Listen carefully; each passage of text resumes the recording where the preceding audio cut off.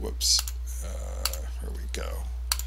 Should be clear completely. Yes. So here we go. So one of the ways, let me get rid of this little space here. You can see how I do that. I'm just going to hit backspace one more time. Backspace. Whoops, I missed it. Put my cursor right there and hit back. Okay, here we go. Uh, anytime you misspell anything also, you get a little red line. Of course, the WordPress is always going to come up. It never likes that. Turnkey doesn't look right, so it's going to have the little red squiggly on that. But what you want to do is create a page really quick is drop in your text, format it the way you guys want. I'm just going to do a couple little things here so they stand out. I'm going to put this at 14, this one at 14, and so it stands out. So when I show you guys how it looks, 14 as well.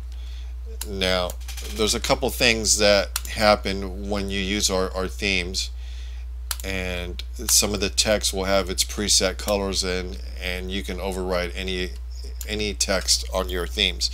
Here's the contact form. This is running off contact 7 short code okay? So let's just go ahead and